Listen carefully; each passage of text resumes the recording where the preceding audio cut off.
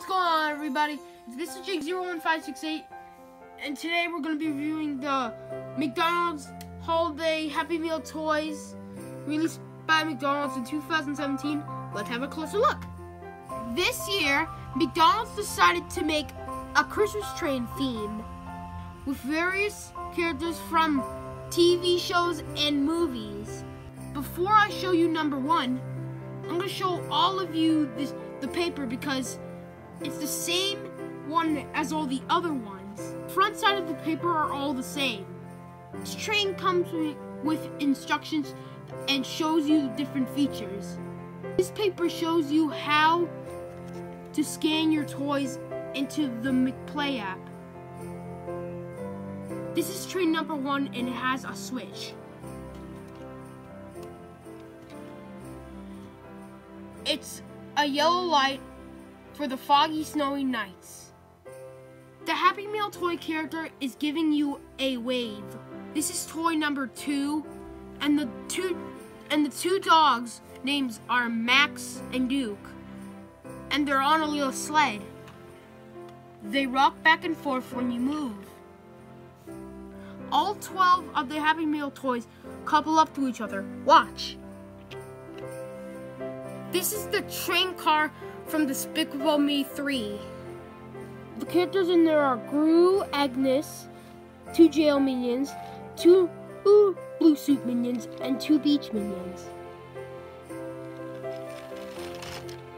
This is number four from the movie Sing, and it rocks back and forth when you move him. This is number five from My Little Pony, and the pony flying in the clouds is Rainbow Dash. Look how cute that face is. This is number six car carrier from Transformers. Bumblebee goes up and down and says peekaboo. This is number seven Jurassic World, and that's a T-Rex.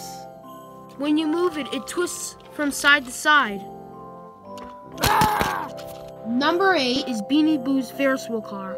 It's the only one in the series you have to put together.